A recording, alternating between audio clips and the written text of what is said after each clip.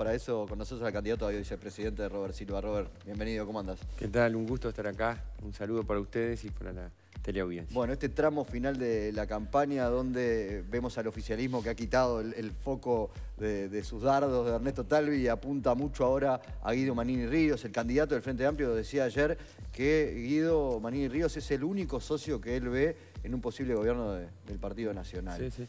No, el candidato del Frente Amplio continúa con la prédica, van cambiando las temáticas, pero continúa con la prédica que, que ha sido una constante durante esta campaña, que es la generación de cucos, es decir, la generación de miedos. Ahora sigue alentando miedos al futuro, dice que lo que se puede perder todo lo conquistado, anuncia catástrofes si el Frente Amplio sale del gobierno, anuncia nada más y nada menos, yo leí los titulares, que no va a haber futuro si el Frente Amplio no está. Hoy no hay futuro. Hoy no hay futuro si nosotros seguimos con esta realidad educativa, si nosotros seguimos con esta realidad de empleo, de trabajo en diversas áreas. Entonces, eh, creo que es muy importante que los uruguayos tomen en consideración las circunstancias actuales, que reflexionen y que piensen muy bien su voto y que sepan que nos estamos jugando los destinos del país por los próximos cinco años. Nosotros acá, a diferencia de lo que hace el Frente Amplio, nosotros no llegamos con con discursos endemoniados, por decirlo de alguna manera, es decir, que todo lo hecho hasta ahora estaba mal, que todo lo que, no ha, habido nada bueno, no, no, no. Nosotros acá llegamos a construir políticas públicas que atiendan las necesidades de la gente y creo que en definitiva ello resulta fundamental en áreas claves como educación, como seguridad, como empleo, en políticas sociales que este gobierno a nuestro criterio ha fracasado. Ahora, ¿sería lo mismo si el domingo vota mejor Manini Ríos que Ernesto Talvi, así vota mejor Ernesto Talvi que Manini Ríos el próximo gobierno en la eventualidad de que sea del Partido Nacional. Poco serio. Perdón, no te distraigas. Estamos, entrevistando al candidato a vicepresidente. ¿Qué, hizo? no Mató una mosca. Pero salió en el plano de, costado. No, eh, Robert, eh, cambia, ¿cuánto, cambia la cosa? ¿Cuánto cambia el, la dirección que tenga el próximo gobierno. Yo te voy a decir una cosa que, eh, que estoy convencido que el Partido Colorado va a votar mucho mejor que lo que dicen las encuestas. Estoy convencido porque vengo de recorrer localidades en todo el país y obviamente el resultado electoral cambiará la integración de la coalición que nosotros queremos integrar para sustituir a la actual coalición de gobierno, para sustituir al Frente Amplio. Nuestro objetivo, el objetivo de nuestra acción, como yo siempre digo, es llegar al gobierno. Nosotros queremos ser gobierno. ¿Por qué? Porque, por lo que decía, porque queremos hacer un conjunto de cosas que este gobierno no ha hecho. Veremos cómo queda integrado la coalición, cómo nos vamos a sentar en la mesa. Nosotros estamos trabajando para encabezar, para estar en la cabecera de la mesa. ¿Y cuáles cosas lleva el Partido Colorado a esa mesa? Porque recién Manini decía reforma educativa. Sí, sí. Lo que pasa es que la reforma educativa la han... Mira, yo sí, podíamos pasar toda la mañana haciendo un listado de la gente que ha hablado de la reforma educativa. La realidad, ¿cuál es? Nosotros vamos mucho más que una reforma educativa. Nosotros vamos por una transformación integral de la educación. Nosotros tenemos un plan de acción específico, concreto, con cuatro columnas vertebrales para dar vuelta a la taba y transformar la educación. Y lo queremos hacer, primero, porque nos hemos comprometido con ello. Yo soy una persona comprometida con la educación. He dedicado mi vida en los últimos tiempos a la educación. Quien vota al Partido Colorado sabe que va a haber una transformación en la educación. Porque además de tener plan, tenemos equipo.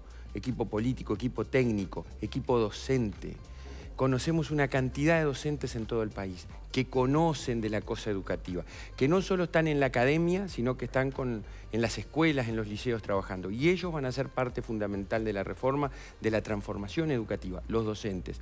Y también equipo profesional, que hay que hacer esa, necesaria articulación. los docentes sindicalizados, por acá también, el otro día en la radio nos decía Ramón Méndez que eh, la oposición pretende sacarle fuerza a lo que es la participación de los, de los docentes en los... Eh, Yo creo que nosotros, eh, votando al Partido Colorado y a nuestro proyecto de transformación integral en varias áreas y en educación en particular, que va a repercutir en empleo y en todas esas cuestiones que hablábamos, eh, tiene claro una cosa, mirá, acá hay que poner a los distintos actores en su debido sitio, en su lugar.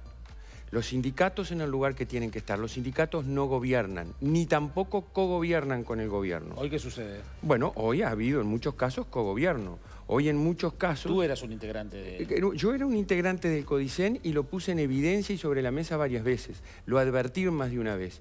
Salió una directora general de secundaria a hablar de que iba a haber eh, elecciones de horas por más de un año, el sindicato dijo que no y no se hizo. Y el Codicen no tuvo voluntad de llevarlo adelante. Y esa es la verdad y no estoy hablando, eh, diciendo cosas que no sean. Entonces lo que acá hay que poner los distintos actores en su mesa. Los sindicatos por un lado, el gobierno por otro y la TD por otro, o sea, y todos los docentes desde la perspectiva técnica, en consulta, en diálogo, pero llegado el momento, adoptar las decisiones que no se han adoptado en varias áreas de, la vida del país, pero en educación en particular, que es la que hablando, hablando. De, de educación, eh, el portal 180 dio a conocer en las últimas horas que el informe Aristas del Instituto Nacional de Educación este, del Uruguay, de evaluación. De evaluación educativa del INET, el INET, del Instituto Nacional de Evaluación Educativa, eh, que, vamos a decir, evalúa los desempeños de los estudiantes de tercero y sexto de primaria en matemática, en lectura.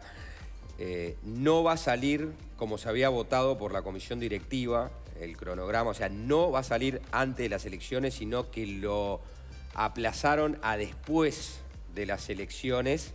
180 consultó a algunas personas dentro del INET y dijeron que en realidad lo que hay es un fuerte de, balance entre lo técnico y lo político, como diciendo, bueno, esto, si bien se votó para que el cronograma se cumpliera y que salieran los resultados antes de las elecciones, ahora lo que está pasando es que políticamente eh, está pesando mucho más eh, dentro del INET el hecho de que no salga ningún informe ahora. Hay que recordar que el anterior informe de Aristas eh, sobre el desempeño de los estudiantes de primaria dio que la gran mayoría de ellos llegaba a secundaria con problemas insuficientes de aprendizaje como para poder enfrentar los desafíos de la enseñanza media eh, superior. Y ahora se conoció esto, ¿no? que no quieren mostrar los, este, los datos este, eh, en este momento y lo quieren mostrar después de la Sí, sí, es una vergüenza. Es una vergüenza porque además yo participé en reuniones siendo consejero en donde se dijo y se expresó que este informe iba a estar en, septiembre o iba a estar antes de las elecciones. Primero se presentó el informe del Estado de la Educación, que generó toda una polémica pública. Luego se dijo que se iba a presentar este informe para cumplir con el cronograma del INED. Eso se dijo en una reunión que yo participé. Ahora este, no sale. De todas maneras, miren, eh, nosotros tenemos un fracaso educativo en materia de aprendizajes.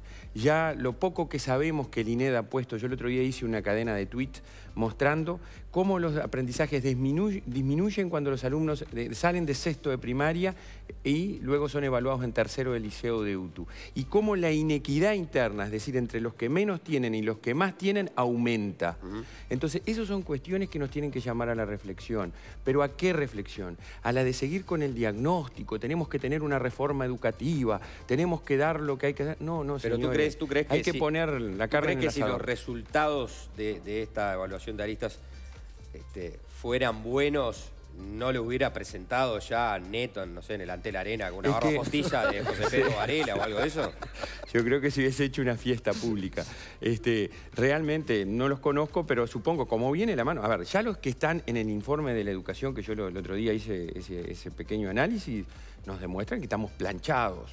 En el, 82% de los alumnos eh, en matemática del primer quintil están en los niveles más bajos mientras que el 31, si no me equivoco, en el nivel más bajo, en, el quintil 5. Entonces, hay una distancia entre uno y otro abrumadora.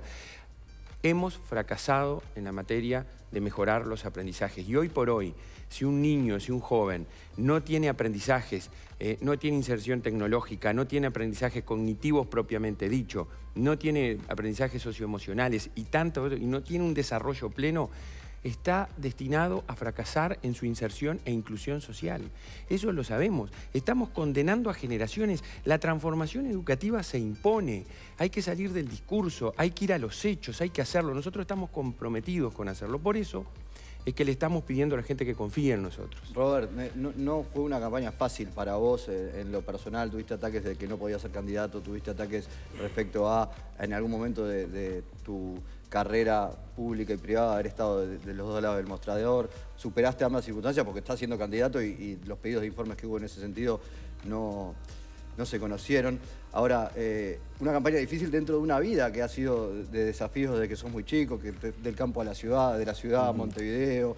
Eh, le recomiendo a la gente, la chilena de tarde o temprano, estar haciendo la historia de vida de los candidatos. Ayer estuvo la de Error, muy emocionante también la de Graciela Villar, está la de Domenech, está la de Mónica Botero y hoy sale la de Beatriz Argimón. También está la historia de los candidatos, que es bueno conocerlos desde otro lado también, ¿no? Me parece que es, importante con respecto a los políticos, más allá de que hubiera estado bueno también conocer a la Graciela Villar más política en alguna entrevista acá, por ejemplo.